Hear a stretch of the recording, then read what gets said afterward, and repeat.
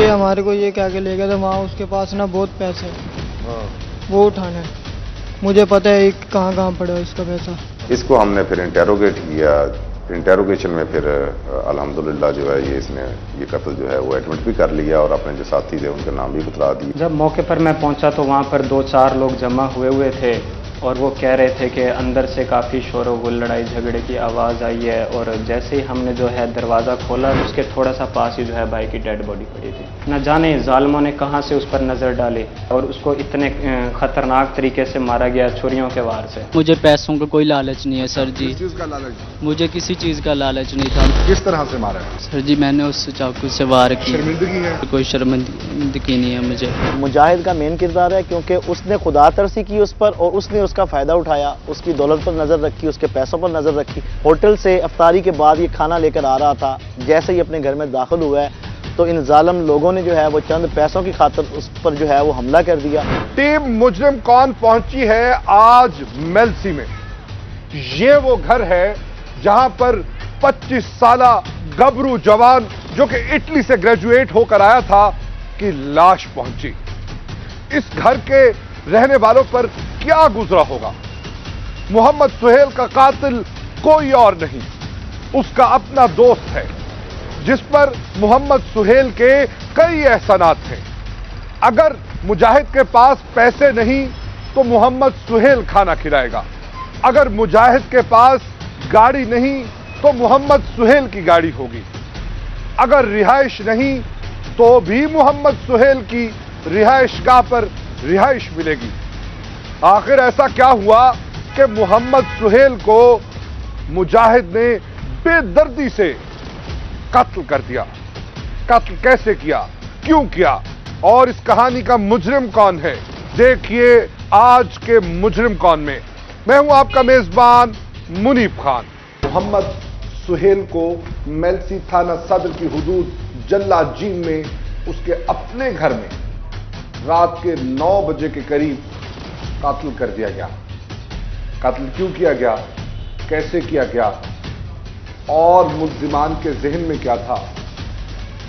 और मोहम्मद सुहेल ने अपनी पढ़ाई कहाँ से की? कहाँ जॉब की? फिर इटली कैसे गए? वहाँ से क्यों लौटे? उनके भाई हाफिज सुल्तान मेरे साथ मौजूद हैं। हाफिज सुल्तान से जानते हैं, अब जब आपका दुख, बहुत बड़ा दुख है। इसका हम मदावा नहीं कर सकते। अल्लाह ताला आपको सब्र दे, आपकी फैमिली को सब्र दे। क्या यादें हैं भाई? भाई के मुतलिक तो आपको जितना भी बताया जाए उतना कम है, क्योंकि आखिर बड़े भाई थे, उनके साथ बहुत सारी यादें वाबस्ता हैं हमारी। तो हमेशा हमारे दिलों में ज़िंदा रहेंगे। अपना वक्त बहुत अच्छा गुजार रहे थे। किसी से कोई लड़ाई झगड़ा नहीं था लेन देन नहीं था, ना ही इस तबीयत के थे वो। तो उन्होंने इब्तदाई तालीम यहीं से हासिल की, अपने इलाके मेलसी से। इंटरमीडिएट यहीं से किया। जी जी बिल्कुल। तो फिर उसके बाद वो जीसी यूनिवर्सिटी फैसलाबाद चले गए वहाँ से उन्होंने अपना बैचलर कंप्लीट किया। BBA किया। जी बीबीए किया। तो उसके बाद वो लाहौर चले गए वहाँ पर एज ए जॉब कर रहे थे प्राइवेट कंपनी में मार्केटिंग की। कितना अर्सा जॉब तकरीबन दो साल जॉब की उन्होंने। तो उधर वो साथ में स्ट्रगल में भी थे कि कोई फॉरेन का वीज़ा मिल जाए स्टडी वीज़ा मिल जाए जॉब भी हो जाएगी चलो इस तरह अच्छा सर्वाइवल हो जाएगा। तो वो जो है ना इस सिलसिले में स्ट्रगल उनकी जारी रही और फिर वो बाद में जो है इटली चले गए। तो उन्होंने वहाँ इटली जाकर दो साल गुजारे अपना एमबीए भी कंप्लीट किया फर्दर स्टडी जो थी उनकी। और वहाँ पर अपना खाते पीते रहे ठीक है अपने बिहाफ पर कमा रहे थे खा रहे थे अच्छे से रह रहे थे। तो फिर लॉकडाउन भी था और मुल्की हालात भी ख़राब थे। और वो वालदा वापस लौट आए। जी वापस लौट आए। एम बी ए कंप्लीट करके। उनका प्लान वहीं पे था फर्दर कोविड की वजह से आना पड़ा। हाँ जी उनका प्लान था उधर रहने का। तो मुल्की हालात भी ख़राब थे और जो ये बीमारी वगैरह कोरोना वायरस की वजह से वापस मेलसी लौट हाँ मेल से लौट आए। तो उन दिनों वालदा की तबीयत भी ख़राब होती थी। तो वालदा भी उन्हीं दिनों में गुजर गई लॉकडाउन के दिनों में। इंतकाल कर गई। तो फिर बाद में घर में वालिद साहब होते हैं वो भी बीमार होते हैं। उनका भी बहुत बुरा हाल है इस सदमे की वजह से। तो उन्होंने फिर फर्दर जो प्लान किया इधर ही रहने का किया। तो कुछ वो वहाँ से भी अर्निंग करके लाए थे और कुछ जो है उन्होंने यहाँ पे वालिद साहब की तरफ़ से हमें ज़मीन मिली थी, सबको बराबर की मिली थी। तो उसमें से कुछ उन्होंने सेल की तो वो यहीं पर सेटल होना चाह रहे थे, अपना घर बना रहे थे गाँव में, अपनी ज़मीन पर। तो लेकिन जो है ना, इसी दौरान में उन्होंने घर वगैरह कंप्लीट किया और कुछ लोगों ने उस पर नज़र रखी कि इसके पास पैसा है, इसको लूटा जाए या कुछ किया जाए। लेकिन उनके साथ कोई हमारा मसला नहीं था, लेन देन नहीं था, कुछ नहीं था। तो उन लोगों ने उस पर कातलाना हमला किया है। और मौत के घाट उतार दिए। अब्दुल तुम सब आप जब वहाँ मौके पर पहुँचे तो क्या देखा क्या पाया? जब मौके पर मैं पहुँचा तो वहाँ पर दो चार लोग जमा हुए हुए थे और वो कह रहे थे कि अंदर से काफ़ी शोर गुल लड़ाई झगड़े की आवाज़ आई है और जैसे ही हमने जो है दरवाज़ा खोला दरवाज़ा खुला था ताक ना अंदर से लॉक नहीं था। तो जैसे ही हमने दरवाज़ा खोला अंदर इंटर हुए तो हमें उधर बाइक बरामद हुई और उसके थोड़ा सा पास ही जो है बाइक की डेड बॉडी पड़ी थी। बाइक उनकी अपनी थी। हाँ जी, बाइक भी उनकी अपनी थी। तो वहाँ देखकर हमें कुछ होश नहीं रहा कि ये क्या हो गया, कैसे हो गया। एक ऐसा इंसान जिसका इस दुनिया में किसी से बिल्कुल कोई लड़ाई झगड़ा नहीं है। घर वालों से, बाहर वालों से किसी से कोई लेन देन नहीं है, कोई मामलात नहीं है। वो अपनी अच्छी ज़िंदगी गुजारना चाह रहा था, अपनी ख्वाहिशात को पूरा कर रहा था, घर वगैरह बना रहा था बस।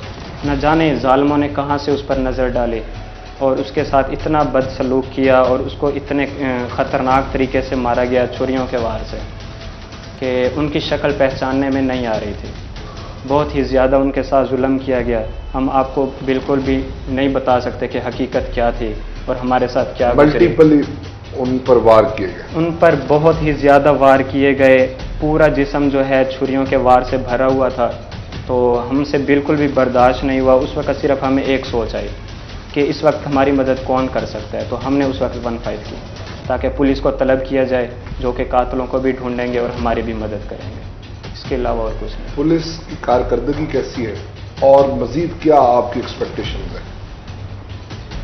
पुलिस की कारकर्दगी अच्छी रही है। उन्होंने भरपूर ताउन किया है कातलों को गिरफ़्तार भी किया है।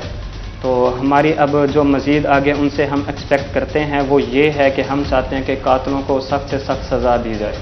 ताकि मुस्तकबिल में जो है कोई भी शख्स ऐसा कदम उठाने से पहले सौ दफ़ा सोचे कि यार हम किसी के साथ ऐसा कर रहे हैं, जबकि इसका रिज़ल्ट तो बहुत ख़तरनाक आना है। तो इसलिए मेरी रिक्वेस्ट है, आप लोगों से भी, गवर्नमेंट से भी, पुलिस से भी, और कचहरी कोर्ट, कचहरी जजों से, वकीलों से, हर किसी से मेरी अपील है दरख्वास्त है, कि ऐसे लोगों के साथ सख्त से सख्त सलूक किया जाए, इनको सख्त से सख्त सज़ा दी जाए, ताकि आज के बाद कोई भी शख्स ऐसा कदम ना उठाए। का एक होनहार तालिब अपने वालदेन की उमंगों पर पूरा उतरता है। इटली में जाता है, मास्टर इन बिज़नेस एडमिनिस्ट्रेशन करता है। फिर लौटता है अपने शहर मेलसी में। जल्ला जीम का रिहायशी है, नाम है सुहेल इरशाद। कुछ ज़मीन बेचता है, ऑनलाइन क्लासेस लेता है। और अपना मकान तामीर करने का ख्वाब देखता है। फिर एक कम इल्म वहीं का मकामी लड़का उसका दोस्त बन जाता है। वो दोस्त उसको किस बेदर्दी से कत्ल करता है आइए उस मुलजिम से जानते हैं। नाम क्या जी? मुजाहिदीन। हाँ मुजाहिद स्कूल गए हो? नहीं। बिल्कुल भी नहीं पढ़े? नहीं बिल्कुल। सुहेल ने एमबीए किया हुआ आप स्कूल नहीं गए दोस्ती कैसी हुई? दोस्ती उधर हमारी जगह थी तो अक्सर मैं जाता था अम्मी के साथ घास वगैरह काटने के लिए। ठीक है। तो उधर मेरी उसके साथ मुलाकात होती थी। उसके बाद ऐसे ही मेरी यारी दोस्ती लग गई उसके साथ। तो उसके बाद फिर इकट्ठे रहने लग गए हम। कुछ अरसा मेरी उसके साथ रही है तीन चार माह। कहाँ कहाँ पे इकट्ठे रहने लग गए? उसके उधर ही घर के अंदर घर नहीं क- रात को मगरिब के टाइम आता था वो तो हम अक्सर बाज़ार में जाते थे उधर दोनों बैठते थे जाकर। सही। तो उसके बाद मेरी उसके साथ काफ़ी थी कह रही वो पैसे में आपसे बेहतर तालीम में आपसे बेहतर शऊर में आपसे बेहतर जायदाद में आपसे बेहतर क्या लालच था जो आपने उससे दोस्ती की? मुझे किसी चीज़ का भी नहीं लालच था उससे क्योंकि वो अकेला रहता था उधर तो उसकी खुद ही मेरे साथ मुलाकात हुई थी। अच्छा वो आपके पास आया कि मेहरबानी करें मुझे वक्त है नहीं मैं उधर जाता था तो वो मुझे मिलता था उधर तो मेरी उसके साथ फिर मुलाकात हुई अच्छा। थी। उधर से मेरी यारी दोस्ती क्या करते थे जब दोस्ती थी? जी। क्या करते अक्सर गाड़ी में जाते थे दोनों कभी कहीं कभी कहीं तो बाज़ार में भी इकट्ठे जाते थे मगरिब के बाद बाइक लेके आता था। तो मुझे कॉल करता था फिर मैं उसी के साथ जाता था। जब वो आपको अपनी गाड़ी पे सफ़र करा रहा है आपसे उसकी दोस्ती है इकट्ठे खिला रहा है पिला रहा है पैसे उसके अयाशी आपकी ऐसे मैंने कभी उससे नहीं खाया। अच्छा। दो से तीन बार मैंने खाया पर उससे ज़्यादा मैंने उस भी कभी जाते थे तो मैं ही खर्चा करता था अक्सर उधर। का बैकग्राउंड क्या है? और किस तरह से ये मामला शुरू हुआ और हम इससे क्या सीख सकते हैं? जानते हैं एसएचओ मेलसी थाना सदर नवीद बड़ैच के साथ। नवीद साहब सबसे पहले तो आपको बहुत बहुत मुबारक हो। जी आपने ब्लाइंड मर्डर ट्रेस किया। क्लू कैसे मिला? आप इन तक पहुँचे कैसे? और क्या कहानी? ये आज से तीन माह पहले रमज़ान मुबारक में रात के तकरीबन साढ़े नौ बजे हमें इतला मिली कि जल्ला जी में कुछ लोग इकट्ठे हुए हैं। वहाँ पे किसी नौजवान को कत्ल कर दिया गया है। इतला पाकर हम फौरी तौर पे मौके पे पहुँचे तो जहाँ पे ये प्लेस ऑफ़ अक्रंस थी, ये खेतों के दरमियान अकेला एक घर था। ये मकतूल, सुहेल अरशाद इटली से पढ़ के आया था। इसको तकरीबन छः माह हो गए थे। पाकिस्तान वापस आए को। यहाँ पे आके इसने एक शादी की और इसकी शादी जो है वो ज़्यादा देर तक ना चल सकी। तीन चार माह के बाद जो है, वो मियाँ बीवी में। डाइवोर्स हो गई। ये घर वालों से अकेला रहता था। इसके वालदेन जो है मेलसी शहर में रहते थे। इसने अपने उस हवाई रकबे में जो है अपना नया घर बनाया। वहाँ पे चूँकि इसकी सेपरेशन हो चुकी थी बीवी के साथ भी ये अकेला रहना पसंद करता था। वहाँ पे एक मुजाहिद नामी लड़के के साथ इसकी दोस्ती हो गई। इसका आपस में आना जाना काफ़ी हो गया। अचानक मुजाहिद और सुहेल के लाइफस्टाइल में बड़ा लाइफ लाइफ स्टाइल में बिल्कुल मुजाहिद का तल्लक एक इंतहाई गरीब घर से है। बिल्कुल अनएजुकेटेड है। जबकि मकतूल जो है वो हाईली क्वालिफाइड था और क्लास का बड़ा बहुत ज़्यादा डिफरेंस था। वो ये मुजाहिद जो है उससे इंस्पायर था। इंस्पायर था और ये उसी किस्म के क्लास में आना चाहता था। उसी किस्म की आसाइशें और चीज़ें जो है उनका हसूल इसका एम था हदफ था। With the passage of time जब हमें इतला मिली हम वहाँ पे पहुँचे वहाँ पे इरशाद खून में लापत पड़ा हुआ था। हमारे पास कोई क्लू नहीं था। रात का वक्त था अंधेरा भी था सिर्फ़ एक बल्ब जल रहा था वहाँ पे।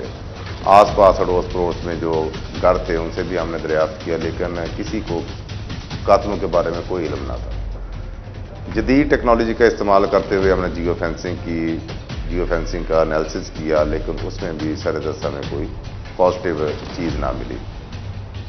चूँकि मुजाहिद का ज़्यादा अटैचमेंट थी मकतूल के साथ मुजाहिद को हमने जो है अंडर ऑब्जर्वेशन रखा, इसको चेक करते रहे, इसकी हरकत सकलात को देखते रहे। ये हमें काफ़ी हद तक जो सस्पेक्टेड लगा। इसको हमने फिर इंटेरोगेट किया। इंटेरोगेशन में फिर अल्हम्दुलिल्लाह जो है, ये इसने, ये कत्ल जो है, वो एडमिट भी कर लिया और अपने जो साथी थे, उनके नाम भी बता दिए, उनको भी गिरफ़्तार किया। अलहदा अलहदा इनको इंटेरोगेट किया है, सभी ने जो है, ये मर्डर जो है, वो एडमिट कर लिया है। वजह इसके पीछे सिर्फ़ और सिर्फ़ पैसे का लालच। पैसे का लालच था कि हम इसको कत्ल कर देंगे, ये यहाँ पे अकेला रहता है, यहाँ पे कोई हमें देखेगा नहीं, ना हमारा किसी को पता चलेगा कत्ल करने के बाद इसके पास जो पैसे पड़े हुए हैं वो ले जाएँगे।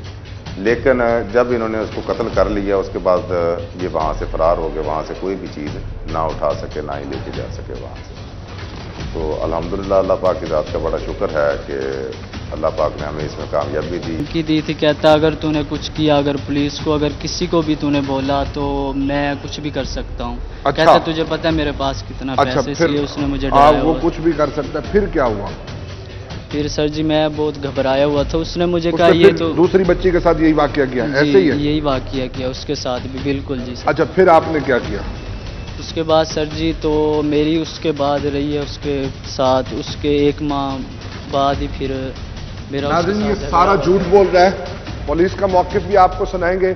और जो इसके सात लड़के हैं जिन्होंने सुहेल को हाथ पकड़े और इसने छुरे मारे उनसे आपको सारी कहानी सुनवाते हैं कि असल कहानी क्या है। एक तो ये कातिल है दूसरा ये नौसरबाज और इंतहाई शातिर है। मोहम्मद सुहेल को नाहक कत्ल किया क्या? वजह यह थी कि मोहम्मद सुहेल के पास बहुत पैसा है इसे लूटा जाए। यह ना देखा गया कि मोहम्मद सुहेल की ज़िंदगी कई सालों की मेहनत पर मुहित है। ये नफासत, ये नजाकत, ये तमाम चीज़ें कई सालों की मेहनत के बाद हासिल की गई। बेदर्दी से, कई चाकुओं के वार से मोहम्मद सुहेल को कत्ल कर दिया गया। मेरे साथ इस वक्त मोहम्मद सुहेल की बहन मौजूद है। उनसे जानते हैं वो क्या कहना चाहते छोटा भाई था। अब इनका क्या मुतालबा है? कि मुलजिमान के साथ क्या होना चाहिए? आपका दुख बहुत बड़ा दुख है। मुझे ये बताएँ, क्या कहना चाहती हैं? भाई था। भाई बहनों के सहारा होते हैं अपने माँ बाप के बाद। हमारी वालदा की वफात हुई। उसके बाद हमारे बाबा को जो है वो फालिज हो गया। तो भाई ही थे जो घर को सारा सहारा और आसरा देते। हमारा भाई था, इतनी बेदर्दी से इन्होंने जुल्म किया तशद किया। अब भाई के बाद मुझे यूँ लगता है कि बाबा की तबीयत भी बहुत ज़्यादा नासाज हो गई है। इस कदर जुल्म और ज्यादती के साथ किया मेरे भाई को। मेरे माँ बाप ने इतनी मेहनत और इतनी जदोजहद से अपने भाई को जो है वो इटली भेजा। उनकी हर ख्वाहिश पूरी की, कोशिश की कि वो अपनी ज़िंदगी में कामयाब ज़िंदगी गुजारे। हर माँ बाप की ख्वाहिश होती है कि उनकी औलाद खुशहाल, खूबसूरती से ज़िंदगी गुजारे। लेकिन पता नहीं किसी की बुरी नज़र ने मेरे भाई की सारी खुशियों को निकल लिया। इतना वेल एजुकेटेड और नेक दिल इंसान के साथ ऐसा कभी भी नहीं होना चाहिए। मेरी कानून और मुल्क से यही दरख्वास्त है, मुल्क के कानून से कि आइंदा किसी बहन के भाई के साथ ऐसा ना हो। उनको ऐसी कड़ी से कड़ी सजा दी जाए, सजाए मौत दी जाए, जिससे उन्होंने बेदर्दी से मेरे भाई के साथ किया। बहुत जुल्म किया हम बहनों पर अबू पर, सब पर। उस दिन से हम लोगों पर ऐसा गमों का पहाड़ टूटा है कि दिन रात सुकून नहीं है, दिन रात। खुदा करे, उनके साथ भी ऐसा ही हो, जिस तरह उन्होंने हमारे साथ किया है। एक नेक दिल इंसान के साथ ऐसा कभी भी नहीं होना चाहिए। इतने पढ़े लिखे लोग, अगर मुल्क में उनके साथ ऐसा सलूक किया जाएगा तो कौन अपने बच्चों को पढ़ाएगा? कौन अला तालीम दिलवाएगा? कौन गैर मुल्क में भेजेगा?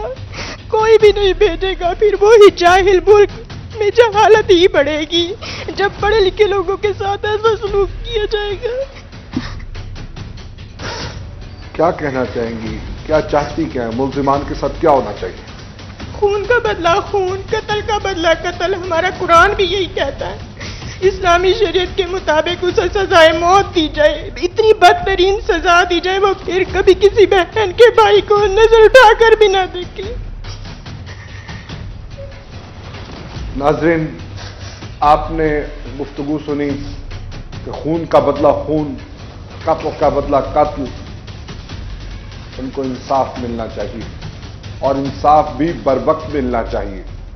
इंसाफ ऐसा मिलना चाहिए कि नज़र आए। इस तरह से किसी बहन का भाई उसके सामने ना आए।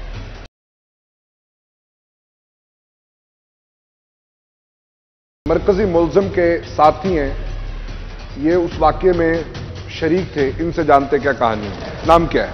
मोहम्मद शान शान मुझे ये बताओ ये क्या कह के तुम्हें ले गया था? और ये हमारे को ये कह के ले गया था वहाँ उसके पास ना बहुत पैसा है। हाँ। वो उठाने मुझे पता है कहाँ कहाँ पड़ा उसका पैसा। अच्छा। तो ये इसने आपको ये कोई कार्रवाई नहीं सुनाई कि उसने बच्चियों के साथ ज्यादती की है बच्चियों को आग लगा दी है। ये वहाँ पे उस पहले ईमानी हीरो नहीं बना? नहीं। ये झूठ बोल रहा है? सर पता नहीं हमारे को अच्छा फिर पैसे आपको कुछ मिले भी सही वहाँ से या नहीं मिले? नहीं सर। किस तरह से इसने कत्ल किया? तो सारी कहानी सुनाओ। इस टाइम जिस इसने कत्ल किया ना फिर वहाँ से मैं उसके नीचे आया पड़ा था। उसने मुझे पकड़ रखा था। उसने छोड़ा ना मुझे। मैं दीवार टपने लगाऊँ आगे वो परली साइड वाले लोग आ रहे थे। फिर मैंने देखा ना वो फिर परली दीवार टप के भाग गया। नहीं इसके हाथ पकड़े इसने इसने कितनी बड़ी छुरी थी? किस चीज़ से चाकू से इसका कत्ल किया? तो छोटी सी थी सर। कितने वार किए इसने? ये नहीं पता मैं तो उसके नीचे आया पड़ा था। अच्छा उसने पकड़ लिया आपको? हाँ जी। मज़बूत आदमी था? जी। आपका नाम क्या है? मोहम्मद काशिफ। काशिफ क्या ये सच बोला है? ये सच बोला उसने। वो कहता जी लड़की के साथ ज्यादती की थी इस तरह का वाक्य था ये पैसे लेने गए थे सिर्फ़। ये पैसे लेने गए थे हम आप करते क्या हैं? पल्लेदारी करते हैं। कैसा महसूस कर रहे हैं? क्या देखते हैं? आपका मुस्तकबिल क्या है? 302 की दफात लगाई गई है। सजाए मौत या उम्र कैद होगी क्या कहना चाहेंगे? पता नहीं। कितना कमा लेते थे? पंद्रह सौ रुपये पंद्रह सौ रुपये आज के दौर में अच्छी आमदन है। जी। क्या ज़रूरत पड़ी थी उसको पकड़ने की उसके पैसे चुराने की? हमने उसको रोका था ना ने ये काम ना करो। ये कहे बस चलते हैं बस। लालच थी जी। इसने क्या कहा था? कितने पैसे हैं? ये बोला पैसे वो लेके आया उधर से ज़मीन जमून बेची इसने उधर से पैसे आएँगे इसको सामने लाए जी साथ लाए इधर ले आए इसको साथ ले आएँ। इसको बताएँ क्या कहानी है। इधर आओ इधर आओ इधर उधर आओ। इधर आओ इधर आओ। हाँ क्या कहानी है इसको बताओ। ये बोला इसने ज़मीन बेची है पैसे हैं उसके पास आप चलते हैं तो इसके पास। हाँ। ये सर जी ये देख के सर जी ये स्टोरी भी मैं आपको सुनाता हूँ मैंने क्यों ये मैंने अप, मैंने अपने तफशी? मैंने अपने तफशीशी को बताया मुझे पैसों का कोई लालच नहीं है सर जी। का लालच मुझे किसी चीज़ का लालच नहीं था। मैंने उसको इसीलिए मारा है क्योंकि मैंने कहा आज उसने ये काम किया कल को किसी और की बच्ची भी उठाकर कुछ भी अच्छा। कर सकता है। तुम तो मैंने- बताओ तुम कोई दादे लगे हुए हो। सर जी उसने अगर मैं पुलिस तुमने मेलसी का ठेका उठाया हुआ है? सर जी पुलिस को मैं नहीं बता सकता था। क्यों नहीं बता सकते थे? क्यों नहीं बता सकते थे? उसने मुझे रोक रोका था कहता किसी को नहीं बोलना। तो मैंने कहा अगर किसी को मैंने बता दिया तो वो कुछ भी कर सकता है। उसने कहा अगर तूने कुछ बताया पुलिस को तो मैं कुछ भी करवा सकता हूँ। इसलिए मैं डरा हुआ था पहले मैंने कुछ नहीं किया। डरे इतने हुए थे कि आपने तो- उसका कत्ल कर दिया। जी सर जी मैंने मारा। किस तरह से मारा? सर जी मैंने उससे चाकू से वार किया। शर्मिंदगी है? शर्मिंदगी सर जी ऐसे इंसान को मारा है तो इसके अंदर कोई शर्मिंदगी नहीं है मुझे। क्योंकि वो उसने अच्छा काम कोई भी नहीं किया था। अगर वो उसने कोई अच्छा काम किया होता तो होती। पर उसने जो ये बच्चियों वाला मेरे सामने वाक़ किया था इस बात से मुझे कोई शर्मिंदगी नहीं इस तरह के कोई सबूत पुलिस के साथ शेयर किए? सर जी बिल्कुल भी नहीं किए। पर मैंने जब मुझे लेकर आए तफ्शीश के अंदर मैंने ये बताया बच्चियों वाला। तो इनको मैंने कैसे तैयार किया वो भी मैंने सर जी को बोला। इनको इनको जी। इनको कैसे किया? इनको मैंने पैसों का लालच दिया था क्योंकि पैसों का लालच मुझे कुछ भी नहीं था। मैंने उसको जो मैं काम के लिए गया था मैंने वही अपना काम करना था इसीलिए। क्योंकि मुझे पैसों का कोई लालच भी नहीं था। पैसों वाली कहानी मैंने इनको बोली थी क्योंकि सर जी आजकल जदीद दौर है घर के अंदर कोई इतने पैसे नहीं रखता क्योंकि बैंक के अंदर ही होते हैं। ये तो हर किसी को पता है। अगर मुझे पैसों का लालच होता तो फिर मैं ऐसा काम करता क्योंकि मुझे पैसों की बिल्कुल भी वो कहते जी इनको कहानी सुनाई थी। अब कैसा लग रहा है? कहानी कैसी लगी आपको? जी? कहानी वो कहते मैंने इनको कहानी सुनाई थी। कहानी कैसी लगी है? मज़ा आ रहा है कहानी में? बस नुकसान ही है। माँ बाप क्या कहते हैं? माँ बाप नहीं आई मुलाकात। हैं? नहीं आया अभी। हमारी मुलाकात बंद थी। हाँ भाई वो कह रहे मैंने इनको कहानी सुनाई थी। कैसी है कहानी? बहुत शर्मिंदगी हो रही है। क्या देखते हो? क्या कह कहोगे उन लोगों को जो खाम खा चले जाते हैं जिनका कोई मसला भी नहीं होता? और फिर वो सारी जो- ज़िंदगी सड़ते रहते हैं। क्या कहोगे उनको? पैसों का लालच नहीं करके कहीं जाना। पैसों का लालच नहीं करना और हर उस कहानी बाज से हर उस स्टोरी टेलर से बचना है जो अपने मफादात के लिए आपको किस तरह से इस्तेमाल करता है। इसकी जाति अनाद, गुस्सा, जो भी रीजन थी, वो हम पुलिस से बात करेंगे, आपको सुनवाएँगे कि इस मामले की हकीकत क्या है। कई माह तक ये मुलजिम नहीं पकड़े गए। लेकिन मेलसी और विहाड़ी पुलिस की शबाना रोज की मेहनत से ये चौथे माह में गिरफ़्तार हुए। नवीद साहब अल्लाह ताला की नुसरत भी इस चीज़ में शामिल होती है, सर।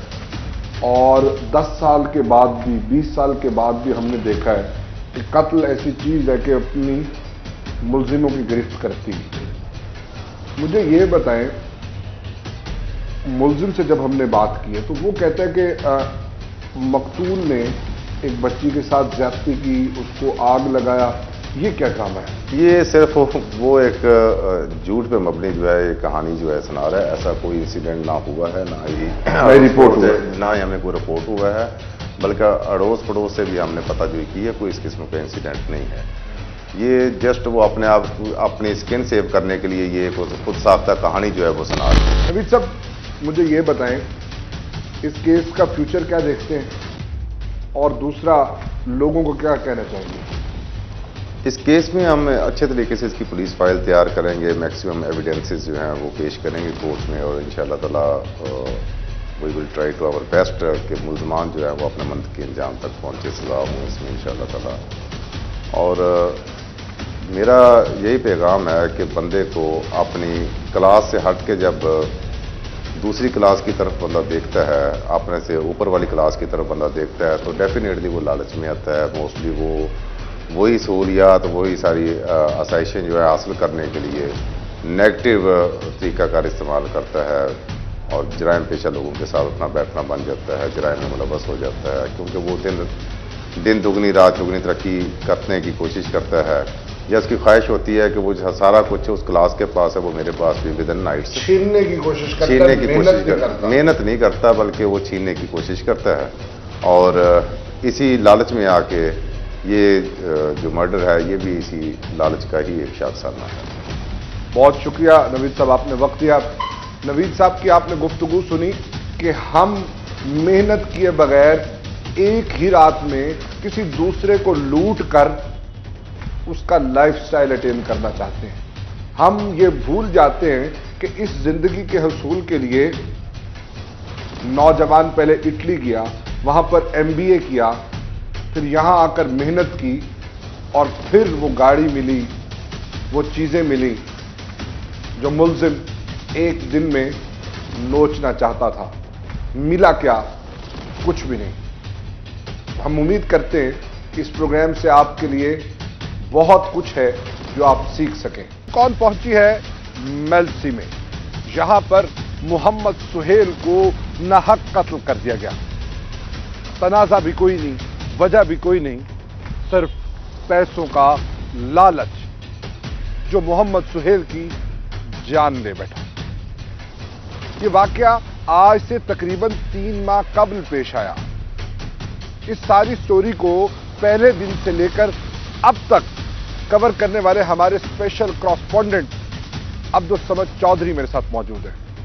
अब्दुल समद, आपने पहले दिन से लेके बॉडी के पोस्टमार्टम और फिर फर्दर चीज़ें, सारी जनाजा गाह तक आपने कवर की। क्या स्टोरी है? इनसाइड क्या है?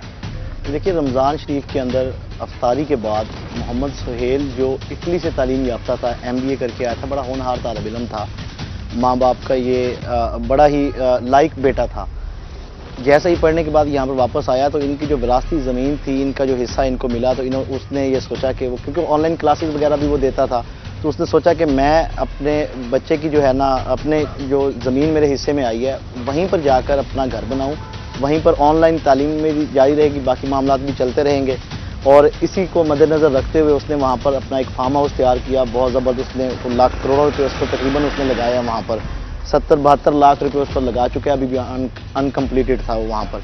तो वहाँ पर रहने वाले जो लोग थे, आपको पता है जहाँ पर कोई जाता है तो वहाँ पर जो बसेरा करने वाले लोग, उनके साथ ताल्लुक वास्ता हो जाता है। बहुत ही लो क्लास का एक लड़का था जिन्हें मुस्तादरी पर ज़मीन लेकर घास काश्त करता था और उसके बाद वो अपने घास लोगों को बेचता था अपने जानवरों को चारा वगैरह डालता था। खुदा तरसी करते हुए सुहेल ने हाँ जी सुहेल ने मुजाहिद के साथ जो है वो सलाम दुआ कर ली उसका ताल्लुक हो गया। खुदा तरसी करते हुए उसको कभी खाना खिला दिया कभी अपने साथ होटल पे ले गया घूमना फिरना शुरू कर उनका ताल्लुक एक बन गया उनका।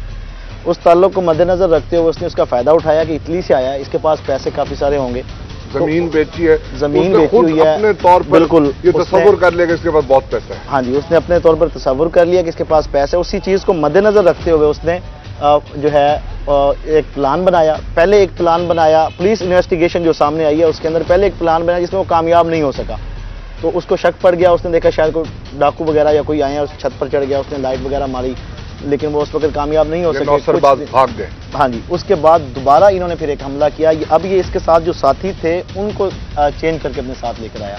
जब वहाँ पर आए उन्होंने आकर फिर यानी इसमें जो मेन किरदार है वो मुजाहिद है। मुजाहिद का मेन किरदार है क्योंकि उसने खुदा तरसी की उस पर और उसने उसका फ़ायदा उठाया। उसकी दौलत पर नज़र रखी उसके पैसों पर नज़र रखी। और उसी चीज़ को मद्देनज़र रखते हुए उसको पता था कि वो खाना लेकर आ रहा है और उसका भी साथ ही खाना आ रहा था। क्योंकि आपस में टेलीफोनिंग के रबते थे आपस में होटल से अफ्तारी के बाद ये खाना लेकर आ रहा था जैसे ही अपने घर में दाखिल हुआ है तो इन जालम लोगों ने जो है वो चंद पैसों की खातर उस पर जो है वो हमला कर दिया जिस पर वो संभल नहीं सका। आ, लेकिन उसके बावजूद भी नौजवान था बाहिम्मत था उसने इनमें से एक लड़के को जो शान है इसको उसने दबोच लिया। जैसे उसको दबोचा तो इन्होंने देखा कि ये हमारे काबू में नहीं आ रहा तो उन्होंने फिर छुरियों के और चाकुओं के पैदर पैर उस पर वार किए, इंतहाई इन्होंने जुल्म किया और वो जो मौका पर जो है, वो जांबाक हो गया और ये मौका से फरार हो गए। अच्छा ये साथ में आपको ये भी बताता चलूँ, ये एक ब्लाइंड मर्डर था। पुलिस के लिए अगर पुलिस को इसमें शाबाश ना दी जाए तो मैं कहूँगा नाइंसाफ़ी होगी। पुलिस ने इस ब्लाइंड मर्डर को जदीद टेक्नोलॉजी का इस्तेमाल करते हुए अपने सोर्सेज का इस्तेमाल करते हुए इन कातलों को ट्रेस किया। जब ट्रेस करके इंटेरोगेशन की अलग अलग इन तीनों की तो ये वही सेम केस निकला। और इसके अंदर मुदई जो है वो वो भी सेटिस्फाइड है। उसको भी क्लियर हुआ कि यार ये वो कई वही बंदे हैं जिनके साथ हमारे भाई का ताल्लुक था और इन्होंने इस हवाले से कत्ल किया। मुदई भी मुतमिन है और कहानी जो है वो आपके सामने है। आ, हमें अपना ख्याल रखना चाहिए। हमें अपनी प्रॉपर्टीज़ अपने एसेट्स अपने पैसों को महफूज जगह पे रखना चाहिए और किसी को बताने की ज़रूरत नहीं है। कोशिश करें, जो भी आपके फाइनेंशियल मामलात हैं, वो किसी के इल्म में ना हो। जब ऐसे कम ज़रफ़ों को पता चलता है तो फिर इस तरह के वाक़यात पेश आते हैं। ये ऐसा ही हुआ कि मुजाहिद, जो कि दोस्त था, और सुहेल ने आखिरी आवाज़ लगाई कि यू टू ब्रूटस दोस्त ने दोस्त की पीठ में छुरा खोप दिया। आप देख रहे हैं प्रोग्राम मुजरम कौन? मैं हूँ आपका मेज़बान मुनीब खान। इसी के साथ मुझे दीजिए इजाज़त। अल्लाह हम सबका हामियों नासिर हो।